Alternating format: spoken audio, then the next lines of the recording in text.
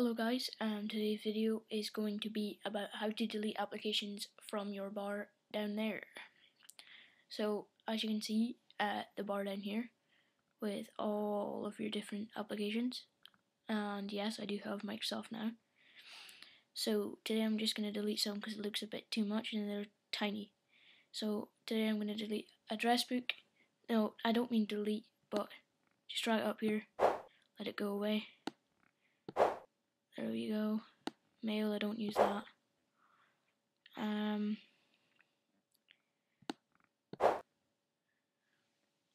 text edit. Oh, wait a second, that is in use.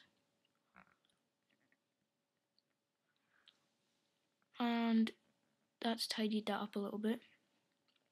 So really you just pull them out, put them up here, and it puts them into your applications folder. And here is, what did I delete? I deleted mail. Where's mail? Where is mail? I can't seem to find mail. Oh well, I deleted address book, which is up here. Um, pretty sure mail's in here somewhere. Where is it? Where is it? I can't see it.